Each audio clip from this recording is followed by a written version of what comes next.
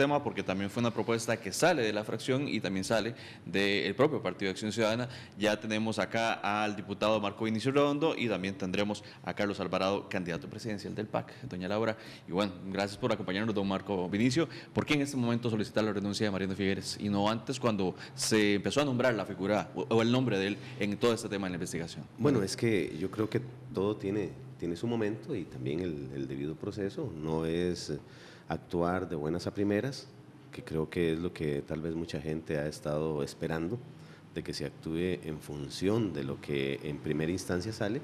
Y en este sentido, la decisión que se toma es producto de algo ya formal, cuando efectivamente se comparece en la, en la comisión, bajo fe de juramento, en donde toda la ciudadanía tiene conocimiento de cuáles fueron los planteamientos, los criterios que se esgrimieron, y de esa manera sale ya la necesidad de la decisión.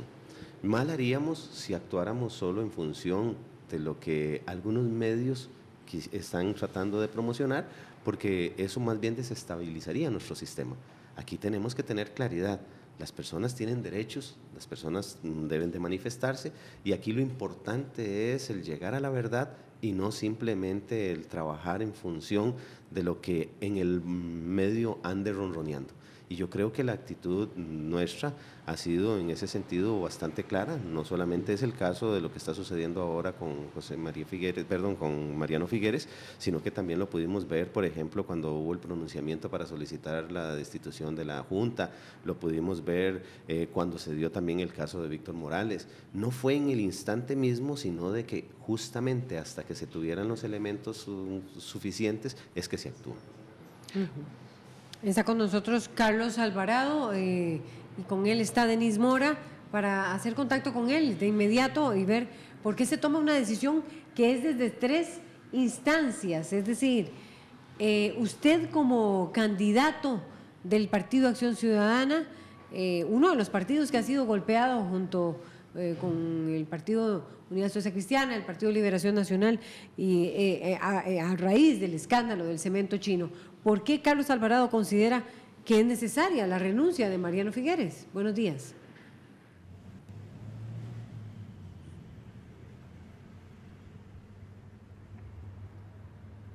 Muy buenos días, un gusto saludarles, Laura, César, al diputado Marco, un gran saludo. También felicitar al CINART, a Canal 13, por el remozamiento de, de su imagen también de Costa Rica Radio.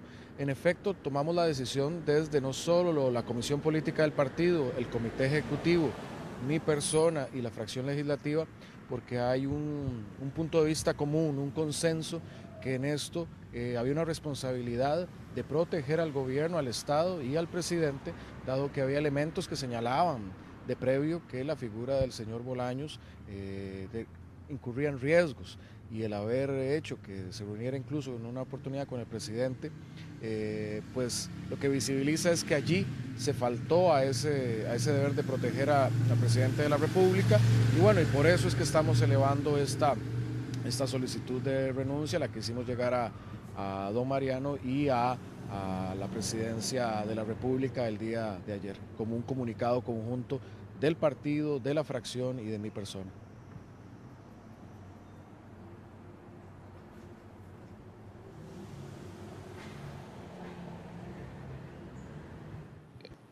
A Carlos Alvarado, de nuevo, eh, eh, candidato presidencial del Partido de Acción Ciudadana, le repetimos la pregunta. Eh, cuando se habla de no protegió, cuando se dice no protegió al presidente, y esta es una consulta que también le vamos a hacer a Marco Vinicio Redondo, se pueden interpretar muchas cosas, pero específicamente y precisando en qué no se protegió al presidente, en qué no se protegió, porque incluso se menciona el Estado para solicitar esta renuncia del director de, de la DIS, Mariano Figueres.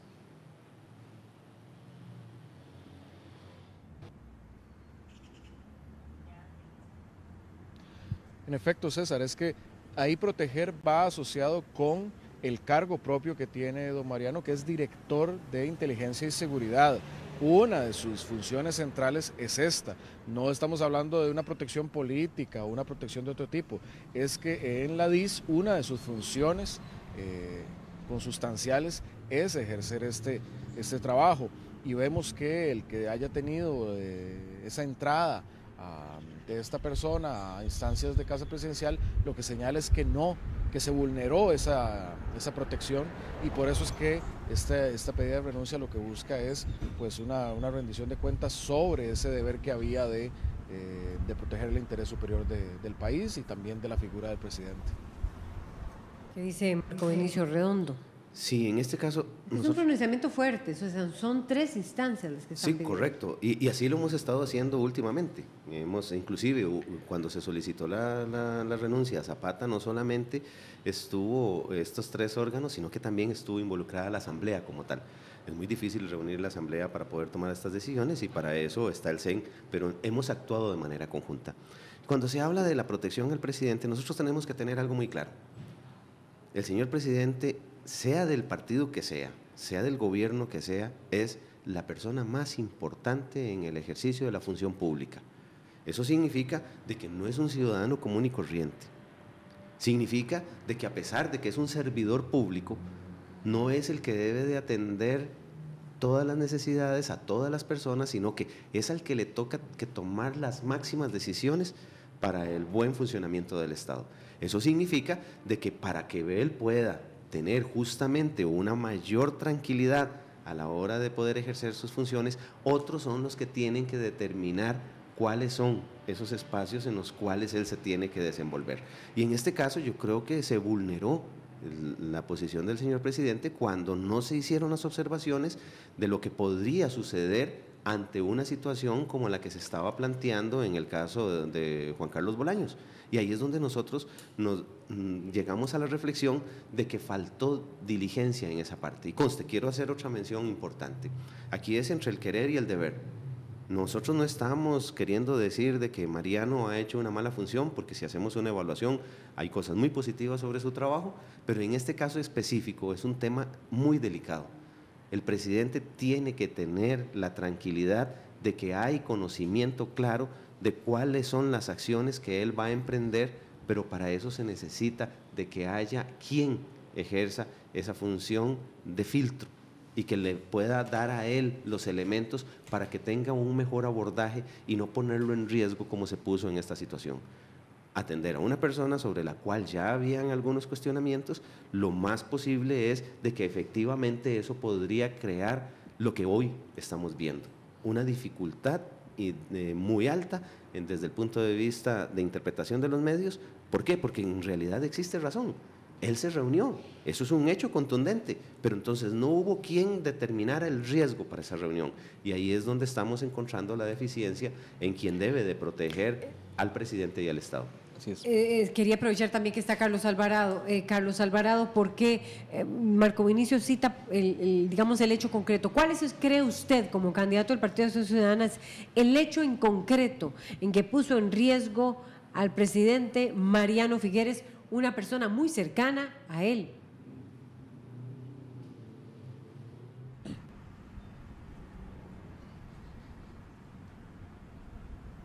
Bueno, en efecto, lo dice muy bien don Marco. Eh, como quedó claro en la comparecencia, había elementos desde previo de la administración anterior que señalaban a este individuo con algún nivel de, riesgo, así quedó claro en la comparecencia. Eh, luego vemos que al producirse esta, esta reunión con el presidente, pues se profundiza ese, ese, ese riesgo.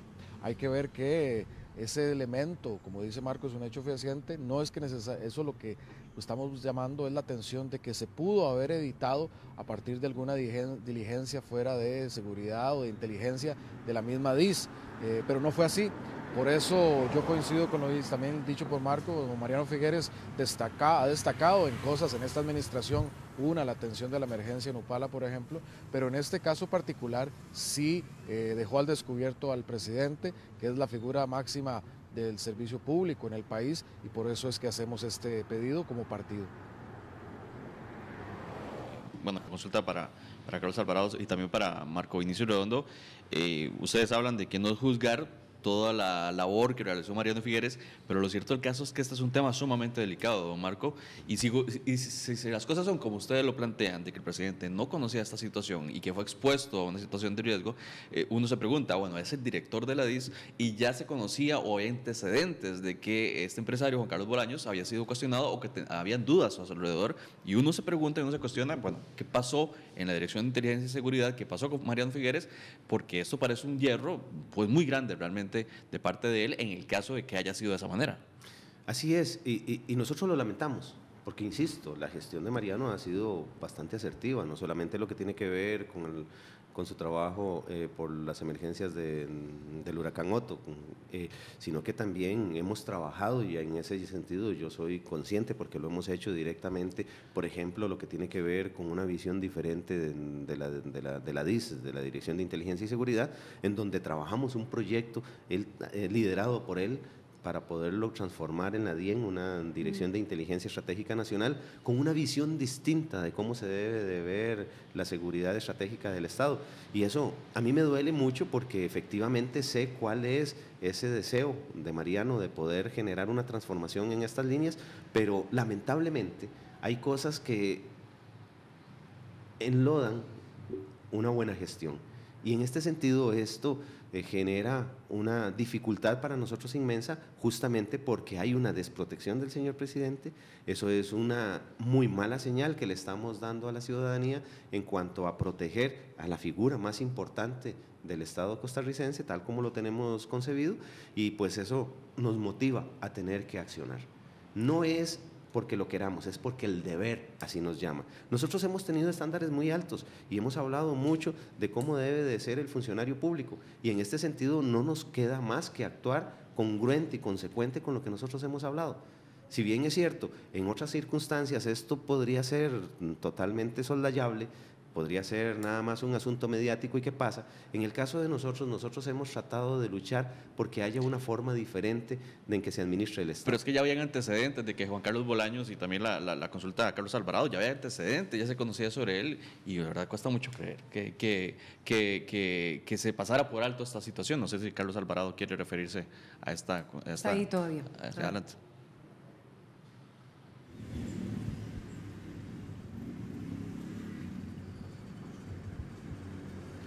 Bueno, por eso es que somos categóricos en esta situación. Somos categóricos al pedir la renuncia. Creemos que hay elementos eh, suficientes, creemos que es lo que corresponde, creemos que es lo que Costa Rica está demandando y esperando en esta situación y nuestro, nuestro llamado a tanto a la, a la presidencia de la República como a don Mariano eh, permanece ahí, se mantiene. Creemos que los hechos que se recogen ameritan esa renuncia, así como que se sigue investigando en el seno de la comisión eh, toda esta situación. Es una situación que ha congojado el espíritu y la moral nacional, lo que corresponde es investigarla, tomar acciones, probablemente luego hacer alguna serie de reformas en cómo se eligen magistrados, juntas directivas, eventualmente diputados en el país. Eh, y sacar este país adelante. Hay que ver que no es el único tema que tenemos hoy en la palestra, este que hablamos, sigue habiendo problemas en el déficit fiscal, necesitamos mejoras profundas en la educación, tenemos problemas graves en el transporte público que necesitamos resolver.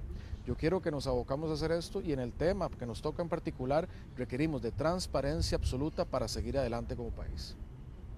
Carlos Alvarado, ¿qué eco cree usted que va a tener esta solicitud? De la, renuncia de Mariano Figueres? Bueno, eh, yo he recibido ya, manifestaciones, eh, se hizo una manifestación pública de Mariano en ese sentido, eh, de que no renunciaría, lo cual, pues, respeto, no comparto, creo que yo mantengo mi posición de que lo mejor en este momento y el mejor servicio que se le puede dar al Poder Ejecutivo y al país es presentar la renuncia y que siga los procesos de investigación y esa es la posición como partido eh, y en mi caso como candidato a la presidencia que mantendremos. De ahí no nos vamos a mover. ¿Sé qué piensa Marco Bueno, vamos en esa línea. Y nos ha tocado que tomar decisiones, decisiones que no necesariamente son las que nos hubiera mm, gustado tener en el escenario. Sin embargo, somos consecuentes y congruentes. Y yo creo que es una de las cosas diferentes que hemos hecho. Y aquí quiero hacer una, una, una observación. Eh, a pesar de que todo este proceso mm, nos ha afectado como, agrupación, eh, nosotros, y ayer lo hablábamos en fracción, estamos eh, dispuestos a que esto continúe, a diferencia de lo que sucedía en el pasado. Nosotros creemos que esto es muy sano y tal vez ahora no, no se logre ver cuál, es, cuál ha sido nuestra participación, pero nuestra participación ha sido muy diferente. Nosotros no hemos propiciado de que esto deje de darse, sino que más bien todo lo contrario, no, no solo como fracción, como partido y el candidato también. Hemos estimulado más bien para que se dé continuidad a todo este proceso, porque resulta ser de que esto es la manera en que se hacía la política antes. Esto antes hubiera sido normal, hubiera sido tal vez un escandalillo de una semana y listo. En el caso de nosotros, más bien hemos estimulado para que se continúe en el proceso de investigación. ¿Por qué? Porque esto tenemos que acabarlo. La clase política tiene que tener una función clara eh, de tal manera de que cumpla con los intereses de la ciudadanía y no convertirse en una fuente de generación de influencia. Se está considerando, Marco Vinicio, eh, eventualmente solicitar nuevas renuncias. Por ahí se habla del viceministro de Hacienda, de bueno, de Ramos, de hecho, ya, de Economía. De hecho, ya eh, Carlos Alvarado solicitó públicamente de que se, se diera la separación de, Fernando Rodríguez. Ahora, también es algo que a nosotros nos duele montones. Es uno de los mejores eh, funcionarios que, que, nosotros tenemos. Ha sido una persona que ha tenido una diligencia en lo que tiene que ver, por ejemplo, con, con la parte del, del, fraude. fiscal, lo que ha tenido que ver con los proyectos para, para, ingresos. La relación que él ha tenido con la Asamblea ha sido una relación permanente, ha sido una gestión en donde también se ha demostrado de que se han mejorado los ingresos producto de las acciones que ha logrado tener eh, el viceministerio. Eh, es uno de los, de los mejores funcionarios calificados por nosotros, pero desafortunadamente también existe es este problema que nosotros no podemos dejar pasar por alto, porque es parte de lo que nosotros hemos hablado, que tenemos que hacer una política diferente, tenemos que hacer eh, que la ciudadanía pueda llegar a creer en la clase política porque las cosas se hacen como deben de hacerse y no por el interés que desafortunadamente es lo que ha privado hasta el momento. Muchísimas gracias entonces a Marco Vinicio Redondo, diputado del Partido Acción Ciudadana. Eh, ya tenemos comentarios sobre esta solicitud de toda la, de la fracción, del partido y del candidato. Federico Figueroa dice, pregúntele a don Carlos y a don Marco Inicio por qué no piden que cierren la DIS como ellos eh, prometieron en campaña y Alonso Oere dice, así las cosas, pidan renuncia a Welmer, el vice de Hacienda y otros involucrados, politiquería, dice Alonso Oere. Muchísimas gracias Marco Inicio Redondo y a Carlos Alvarado, candidato del Partido de Acción Ciudadana. Vamos a un corte, ya volvemos.